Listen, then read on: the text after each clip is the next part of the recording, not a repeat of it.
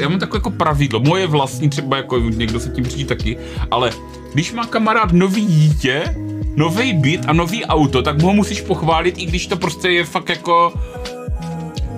Nic z toho se nepovedlo. Tyhle tři věci kamarádovi musíš vždycky, pokud je to tvůj dobrý kamarád, máš ho rád, tak tyhle tři věci musíš, musíš prostě pochválit, jo? I kdyby bydlel, i kdyby bydlel v, v, s křivou podlahou přijel multiplou a děcko by volilo SPD. Tak to ne. To už musíš něco říct. To ne, to ne, to už ne. To ne, Štěpo. Už řekl první slovo, co řekl táta, mama? Okamura.